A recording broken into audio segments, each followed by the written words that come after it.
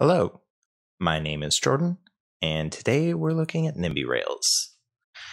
Um, so I know that I said last time that we would be beginning our build for the line from Seattle to Portland.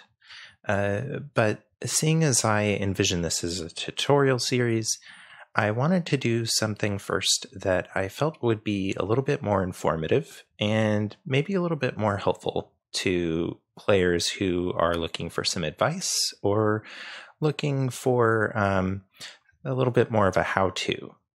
Um, this is something that I would normally do off screen, uh, off recording. Um, but I thought this would make kind of a good precursor to the actual building. Um, and that is route planning.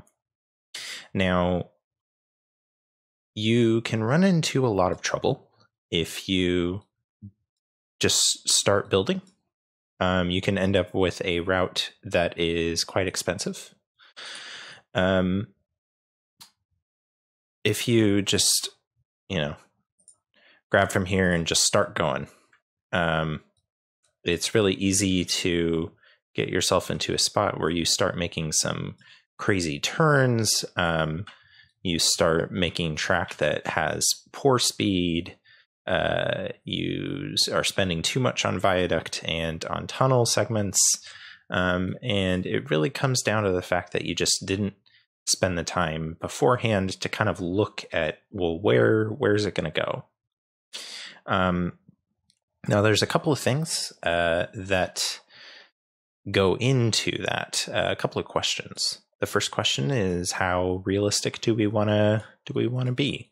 For instance, um, we could do ground rail uh, through here. I can create a ground rail. Uh, please give me this. Thank you. I can just create a ground rail right through here. But if we zoom out, we see that this rail actually goes over some fairly significant mountains. Um, this is not something that would ever actually be built. Uh, you would never build rail like this. The grade would be far too high, um, and it would. Uh, the, there's a lot of trains that just wouldn't even be able to make it up, um, at least freight trains. So keeping that in mind, uh, you you can build it because elevation um, and grade are things that are not built into the game at the moment. But given how detailed everything is, um, I have every expectation that it is a feature which will be in the game at some point in the future.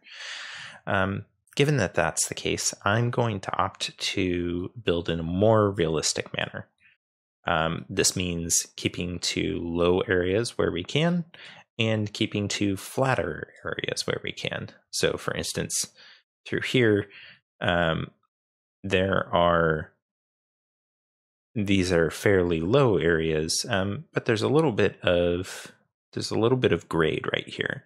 So we'd have to take extra care to go up the grade at an angle, the way that this interstate does, instead of going directly against the the um, directly against the elevation. Um, this is the way that it's done in the real world, um, not just for rail, but also for interstates and roads. Um, it's pretty uncommon to have a road that just goes directly at a a high elevation uh, difference.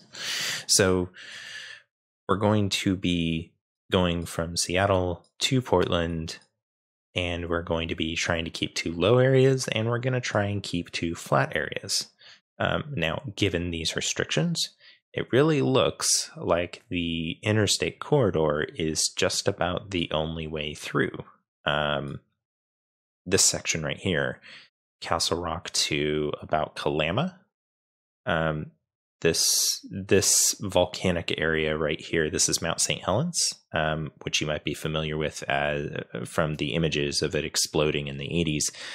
Um, and this entire area is extremely mountainous and extremely rugged. Um, it's really hard to get around here outside of the established roads um, and definitely getting overland outside of the valleys um, is next to impossible um, in any kind of vehicle. Um, so we know that the rail is going to have to pass through here. Um, so because of that, we don't really need to plan for it. I mean, this is the only path. We'll have to find whatever path is available through here. Um, but we have more options through here. Um, we could go over to the right. We know that we need to get over to the right, uh, get over to the east a little bit to get to Seattle. However, it looks like there's another mountain range right here. So it might be good to go a little further up. Um, we might be able to get through here, except for this looks like a canyon. So maybe not. But through here, you can see that this river comes all the way over. So we could probably get through from Centralia to Bucoda and Tenino. Um, we could also continue up where I 5 goes, um, up towards Tumwater and Olympia. Now, there is another question besides just how realistic do we want to be about laying the track um, that that we really need to consider, and that's do we want to go directly from Seattle to Portland, or do we want the track to hit some of the other major population centers along the way? Um, fairly small. Napavine is fairly small. Longview is a little bit larger. Um, but these are still relatively small areas. However, Olympia and Tacoma are much larger. Um, Olympia is about the size of um, uh, about the size of Beaverton that we ran a subway stop to. Beaverton, um, in general, uh, encompasses about this area. Um, so that might actually be worth going to, not with our express line, which will be direct Seattle to Portland, but with our local line, we might want to go to Olympia. And so the question is do we want to bring the track close to Olympia so that we don't have to lay much extra track to get our local line? Or do we want to build a line that goes through, say, Centralia to Tenino and over this way um, to make a more direct Seattle line that is probably going to be cheaper and easier to build for the direct line? Um, in the real world, it's very likely that both lines exist. Um, it's very likely, in fact, Tacoma has an, a, a, very large amount of rail. Uh, Tacoma is a huge, huge port. Uh, you can see it from here. This is this is all shipping. Uh, this is a giant commercial port, um, and there's a lot of rail that converges here. Um, this is also a huge commercial port up in Seattle uh, around here. Um, so there's a lot of rail that converges there as well. So there's definitely rail that goes through here. Um, and there's definitely rail that hits Olympia. Um, but it's very likely that in the real world there is rail that goes from Centralia to Tenino and so on. Maybe not Tenino, but definitely rail that takes a more direct route. Um, so I think I think that it would be useful to build the more direct route first. Um, and we want to focus on where our questions are. So, okay, so it looks like there's a really nice little rail rail friendly section here. So let's just mark it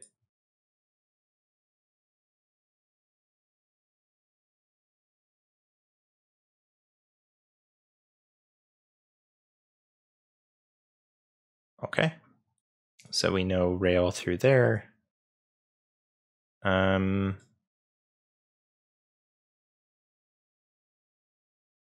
could build it through here.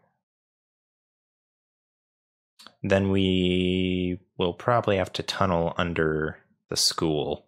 Um, we don't want to build giant rail line through the middle of a school. Um, but that does seem entirely entire. So it would come down here, and then we would have what something like this.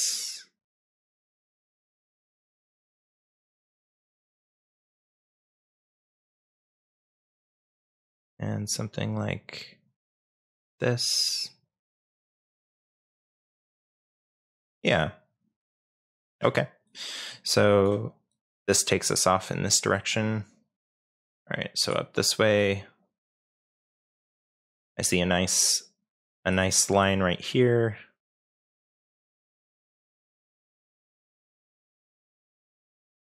Okay, so this takes us up. Oh, but this is on the other side of this mountain, so we probably want to go actually up this way.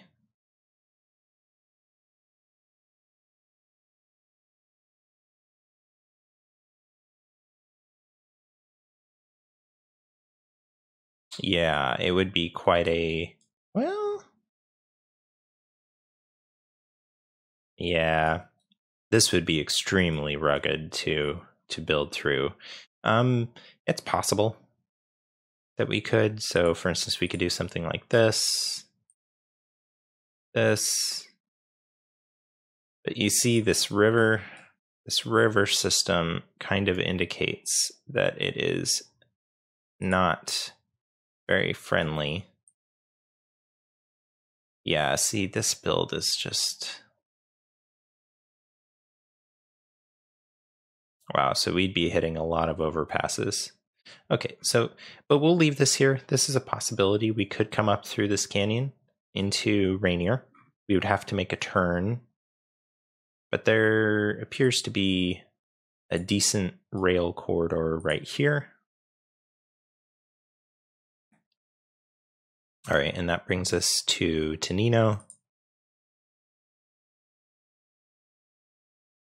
All right, so we'd have to viaduct over that.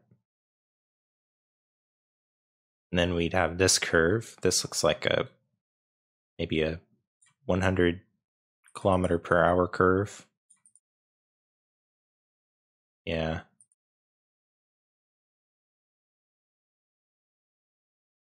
Down to about 119. Okay. So that would bring us to Bucoda.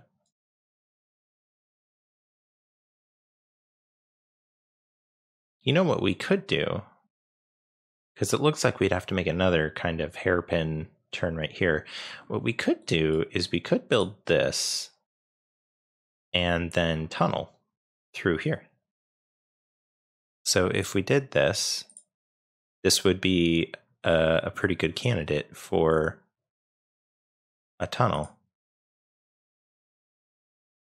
Um, tunneling will obviously be more expensive, but this might actually be.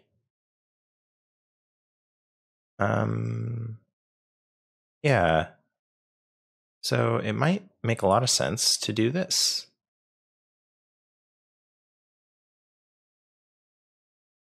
And then something like this, bring it across, and maybe even tunnel through here into there. Um, we might be able to get a gentler, a gentler curve than this one through Tenino. Um, so this is a possibility. We could also, we could also just follow this as it appears. Um, it looks like we want to be over here.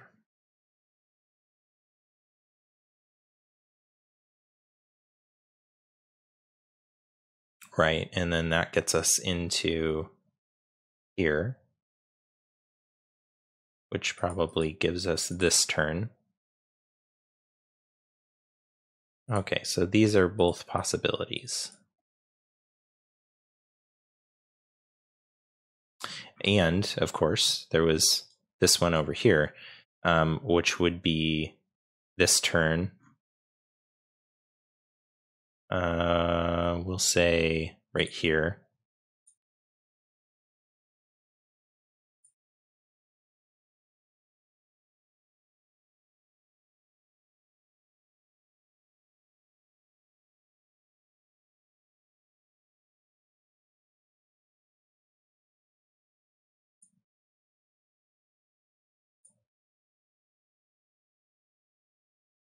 Something like this.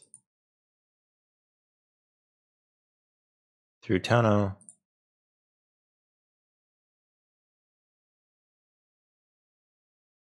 And to the other side to over here. Or we could branch it there. So these are just, these are some of the things. We have a lot of possible paths through here for this direct route. So once we get over to Rainier, um, we just follow the rail right of way up here. All right, and then it looks like it just kind of goes off in this direction. So what's over in this direction? Roy. So it'd be nice to get on the other side of this embankment right here. That involves us. Um, so it looks like there's a decent, decent right of way up here to bring us up north. That would take us into Tacoma. It looks like there might be a decent one right here. Or right here. Uh, right. Right. Okay. And then that takes us down this embankment. Um, that looks kind of messy though through through this area. I think it might actually be better to go through Graham. Yeah, through like right here.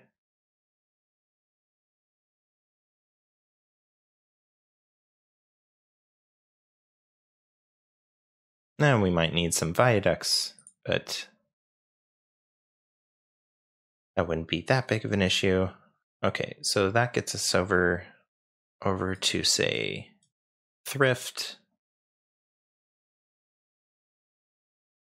And what we so we can get over to the here. Ah and then we have a decent rail corridor right there. So then up through here cross the river follow this road straight ahead through here. And then we want to actually go through here uh, but it looks like we don't have a good curve to get into that corridor. Okay, so there's a corridor right here. And we could definitely do that. Um, but the corridor, yeah, it appears to turn here. So it's heading straight. Straight up through there. So it would actually it would be much much more efficient if we could go straight up. Um, it doesn't appear that that's going to be simple to do. So this might actually be a spot where it makes a lot of sense to pay for a short bit of viaduct or a short bit of tunnel.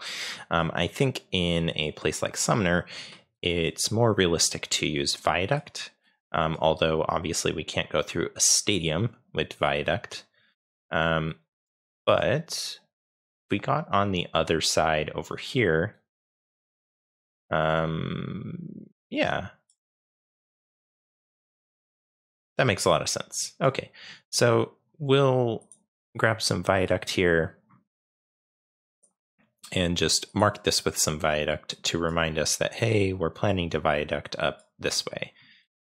So we're, what we're doing is we're just kind of leaving all these markings about like key points along the route that we want to keep in mind. And then from here, I believe this just dumps into Seattle's freight rail system. Yeah. So this is taking us. There's actually two two rail systems, the left and the right here. Okay, it looks like this one goes over this way and goes down here. So this one goes up. This is probably a really good way to get from Seattle to Tacoma.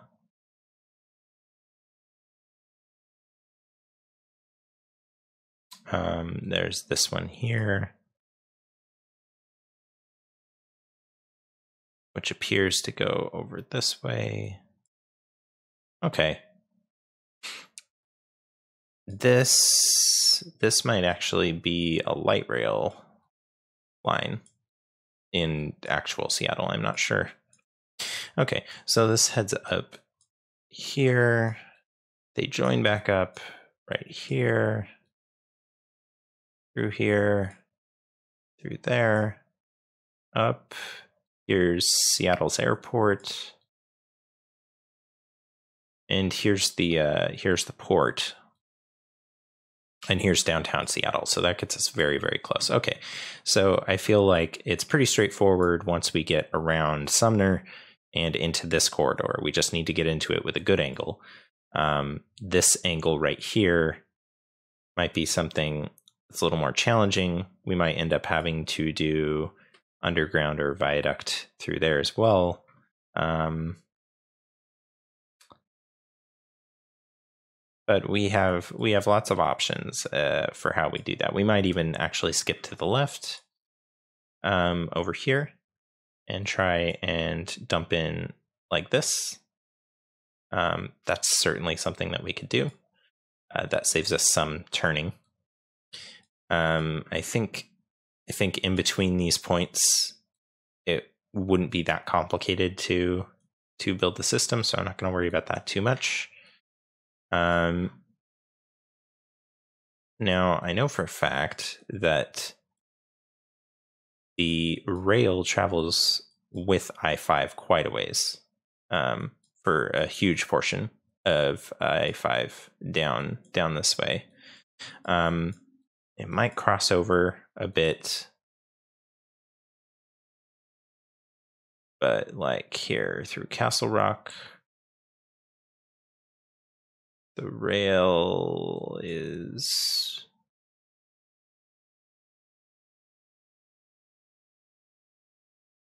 Hmm. The rail might be on the right. But I think we can find a path. No matter where the rail actually is in real life, I think that we can find a reasonable path through there, through there, into Longview. Longview has a pretty decent, here's Longview Junction. Um, you can see the the rail or let me switch it to ground. Um, you can see the rail going this way and the rail going this way. Um, so this one takes us into longview. Um, if we wanted to build a connection to longview which i think we will for the local. Um, and this just goes to the left to the left Nice big old rail corridor right there. Through through Kalama.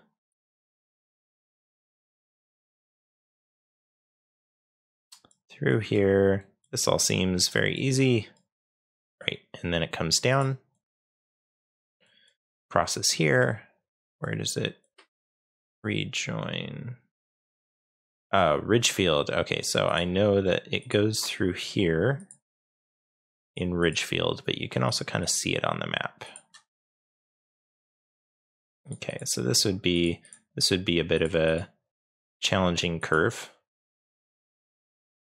If we wanted to do that, I suppose we could bring it off to the right, although this is all housing. Um, it's actually housing very nearly from the river to here. Okay, and it looks like ah no, right over here. Okay, so the rail. This is our path through there. This is our path through there. Through here. Just comes down through here. All right, and then it has a not so fun curve, but it's fairly short. Right through there. right through here. All right, and then this is a rail bridge across the Willamette River. Um, this little waterway right here is called the Columbia River Slough. Uh, this is the Columbia River. Uh, as you can see, it's it's uh, the Columbia River Slough is just like a a little side uh, side waterway. Um, but it also branches down here. So it goes both directions. Um, this joins up with the the rail that goes along Columbia Avenue um, into the gorge. Uh, these are all cliffs, so the rail stays extremely close to the interstate. Um, off to the east. But so we would have to make a pretty severe turn right here in order to get back to downtown. This is this is huge rail yards right here in the Northwest Industrial District. But we would have to make some severe turns um, for a high speed rail system in order to make it into this turn. So I'm thinking actually we just take the tunnel up to here. And then connect these. Because this is this is a much cleaner especially if we can tunnel this is much cleaner. And that'll be worth the cost to simplify it and to keep our speed up so yeah i feel like now i have a good plan for how i want to handle very nearly this entire route and the parts that i don't have very well planned out i feel like they won't be much of a challenge so I wanted to do this as kind of an example of some of the stuff that would normally uh, be done off screen. Um, this is the sort of thing that I would do uh, before I would build a line. And in fact, I did do some of this when uh, prior to building the Salem line. Um, the Salem line on uh, on video. Um, I didn't I didn't do it in quite as much detail um, as I did with the uh, the Seattle line here. Um, I didn't build example lines. I was just looking at different different spaces, different ways around, like this, for instance, um, to see different ways that I could get into Salem and traverse the distance. Um, between Portland and Salem, basically everything is flat and low, so it doesn't. There's not that much difficulty in picking your routing, um, and there's not as many restrictions. Uh, but it is a very similar process, and it's a process that I would duplicate even in places where I'm not familiar with the terrain. For instance, Salt Lake City, um, which I'm not familiar with at all, to say to Jackson, um, this would be a very challenging route because there's no there's no valley into Jackson. This is this is an isolated little valley here, so we'd very likely have to tunnel. Um, and we'd probably just looking at it, I'd probably want to do is take the rail up here, get into maybe go up through this canyon, get to Idaho Falls, come around here, and do a tunnel through this. Now, this would be an extremely expensive tunnel, but it's probably one of the only ways in. We could also come all the way up here and do a tunnel through here. Uh, but it is probably one of the only ways that we could realistically get in. Um, we might be able to do it through here. I'm not, like I said, I'm not too familiar with the terrain, so I'm not sure how low this is, what kind of elevation change it is. Um, but it's the same process that I would repeat with anywhere that I wanted to build Rail. Um, I wanted to do this as kind of like a little little precursor to the actual building, kind of give you context for how I make decisions, how I decide where I want to put the rail. Later on, we have branches that we could bring up towards Olympia. We saw some ways that we could get into Tacoma.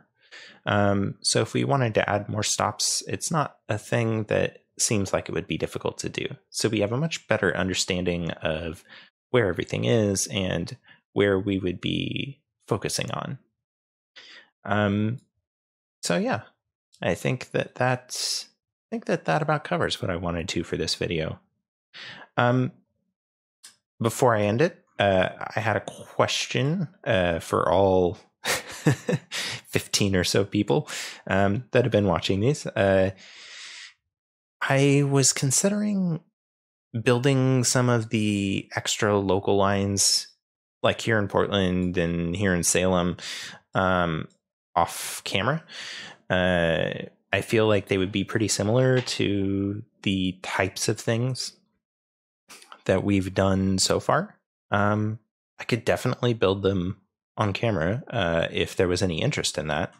Um, which sounds kind of silly to say when there's so few people that have watched any of the videos, but that also means that if there's anybody that's vocal about wanting to watch it, that they account for a large percentage of the people that are actually watching it. Um, so, you know, if that's a thing you'd want to see, um, definitely comment. You would represent a very large portion of the people that that would affect. Um, so I definitely want to hear about it.